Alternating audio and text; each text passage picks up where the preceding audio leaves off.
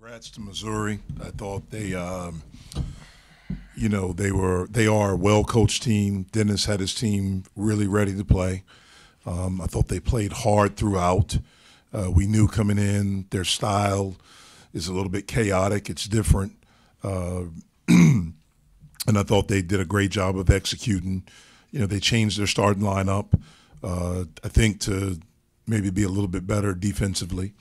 Um, and they got off to a great start. And you know, I thought we we were ready to play. We played well early. Um, I think in the first 12 minutes we were up six points, and I think they had 17 points. So we had done a really really good job. But the last 741 of the first half, they scored 21 points and were plus seven on the boards. And I thought that's where the game changed. Um, I thought we got great looks it was just one of those nights where we couldn't make a shot. And for the first time this season, we allowed that to impact the game. We allowed it to impact the defense. We allowed it to impact everything. And so it's a learning lesson for us. You hate to do it in a loss, uh, but we'll learn from it. We'll get better from it, and uh, we'll be ready for the next one.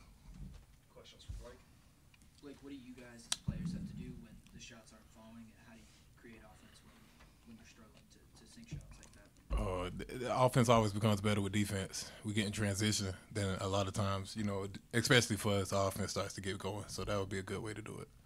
As an older guy on the team, how, how can you help guide these younger guards through the struggles they kind of face when they're getting a little bit more pressure? They're not struggling; they're learning. They're learning. So it is. I mean, is I, I, they're they're better than me at handling the ball. Let me tell you that. So um, they're gonna be fine. They're just gonna get these learning lessons, and they're gonna become the better um, freshmen in the um, conference. What kind of things are you saying or doing to help them when you know teams are putting a concerted effort at the top of the key to put pressure on?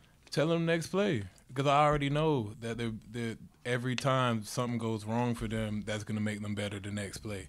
And it's just something. They're 18, so that's what it is. Good, get them now because they're gonna they're getting better every time.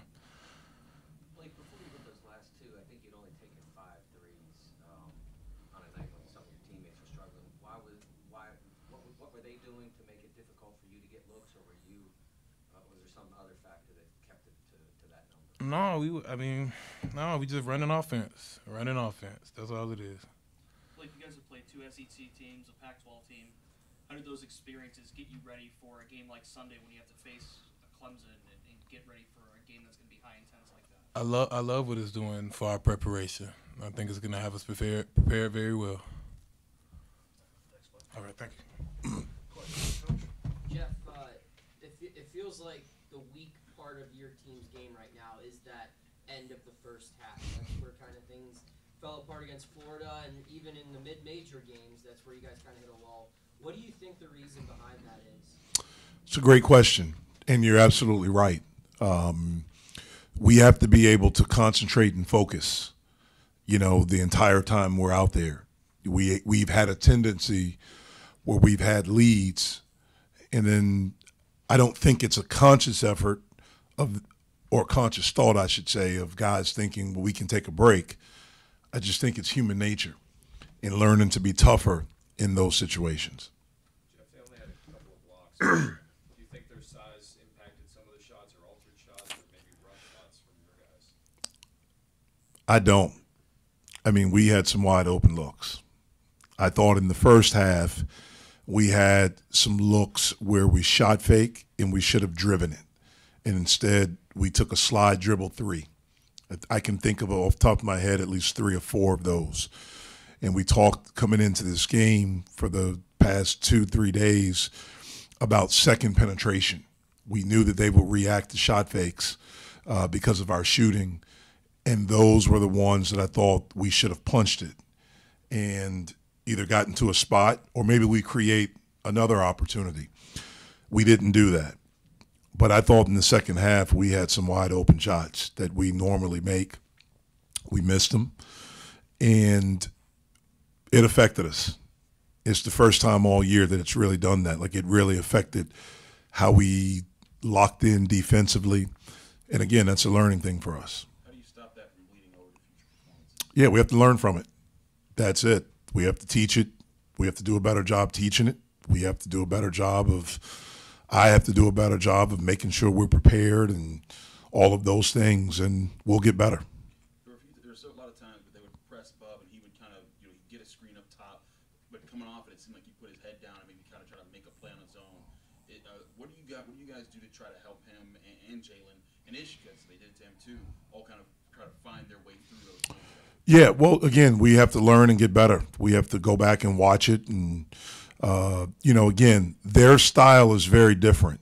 You know, they'll switch a lot, and at times today, when we did drive, they didn't rotate as much. They stayed connected, and so they played. They they, they made you play a little bit of one on one against their size.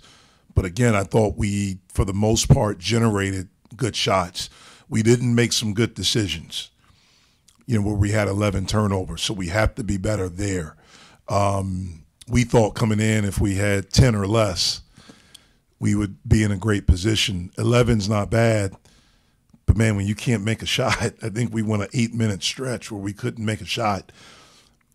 And there were some a lot during that time that were naked, like they were wide open. And um, so again, that's just how it goes sometimes. Jeff, just coming into this one, did you imagine that this would be the first team to out rebound you guys? just looking at what they had done prior to this. No, I didn't. I didn't. But I knew that they were going to play really hard. I knew that they were going to fight. I knew that they were going to do that. Uh, but I thought that's where we could have an advantage, but we didn't. Jeff, they sent you to the line 31 times tonight. How would you assess your team's physicality? Our physicality was okay. I mean, when you get to the line 31 times, that's a pretty good thing. We knew coming in that we would get there a lot uh, because of the way they play. Um, and we made 25. Now, we missed some key front ends of one and ones um, that would have maybe kept it a little bit closer during that stretch. We have to be better in those moments. Do you feel like you guys could have defended the rim better today? I feel like we could have done a lot of things better today. That's one of them. Um, you know, again, I thought we allowed our inability to make a shot. I thought we allowed that to affect our defense. First time all year. In our last game against Oregon State, we didn't shoot the ball well, but it didn't affect what we did defensively. Um, today, I thought it did. You guys closed the game. I think you closed the game with Guillermo on the floor. Uh, what did you like about what, what he brought and we were just trying to get spacing. You know, Guillermo's a guy that can make a shot. Um, we weren't really getting anything at the rim with Fede, um, and also just you know the fear of fouling and him getting to the line. You know, that's that's we struggled there a little bit with him today. Um, but Guillermo can stretch the floor. He can make a shot. They had uh, Vanover in, seven foot five guys. So we thought if we got some penetration, if G is in, at least maybe he takes Vanover away, or Vanover's in there, we kick it to him, and perhaps he can make a shot. You guys shot uh, 81. Or have over the last two games. You guys have now shot 81.8 percent from the stripe, whereas before that was like 63.6. What have you guys done to try to get better there? Just practice it. I mean, that's really it. Um, but it wasn't like we weren't practicing it earlier. We, we just made shots. I mean, we shoot the ball every day. We, we, we normally shoot the ball better from the floor. Today was just one of those days that we didn't. Jeff, I know last year you talked about the loss to Michigan and VCU and last year's scope as turning points for your team. When you look at a game like today and then what happened against Florida last week, could that same theory apply Clemson coming up, West Virginia coming up? Yeah, I mean, look, we have to get better. You know, we'll have some time to prepare for Clemson. They're really good. I thought, you know, before the season, in, in the off season, I thought they would be one of the better teams in our league. Um, with with what they have back, who they added, I, I think they're a really really good basketball team, and I know they'll be ready to play. They're a very physical team. Um, they're a very experienced team. They're an older team. They're very good defensively. They have one of the best players in the country, in PJ Hall. Uh, but you know we'll be ready. We'll be excited. We'll be anxious. You know we'll have you know almost a week, few days. You know what is it, four or five days to prepare, and we'll be ready Sunday afternoon. Jeff, you're playing a bunch of uh, power conference teams in a row here. How is Bub handling that on-the-job training? He's handling well. He's learning. I mean, we knew that this will be a learning experience for him. You've called this loss a learning experience. Blake has as well. What have you seen from the young guys, Bub and Jaland, and even the sophomores, that indicates that they're taking these as learning experiences and not, you know, getting too down about these losses? Well, we should be down about it. We we should be down. I want us to be down, but that can't last. You know, when we get back together, we've moved on. You know, we flush it, win or lose. You know, the next day. You know, you live with it, you learn from it. When we get back together, we'll have some film. We'll talk to them collectively as a group. We'll talk to them individually, and we'll get better. I mean, what's the alternative? You know what I mean? Like you have to you know, the biggest thing is that we have to stay together. We can't point fingers. I was pleased after Florida we didn't do that. And we got off the mat and we played really, really well, especially defensively against Oregon State. I anticipate us getting off the mat again and playing well on Sunday. All right, see you guys.